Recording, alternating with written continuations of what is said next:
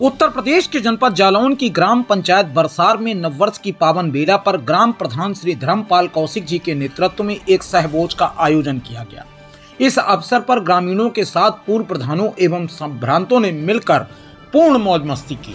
इस आयोजन में श्री बलराम राजपूत, मुकेश राजपूत, ब्रजेंद्र राजपूत, श्री राम राजपूत, धर्मपाल मुखिया, महेंद्र यादव, सुगर महान, हरगोविंद मुखिया, अनिल चौधरी, राजकुमार बाल्मीक विक्रम राजपूत मूलचरण श्रीवास जैसे वरिष्ठों सहित सैकड़ों ग्रामीणों ने हिस्सा लिया।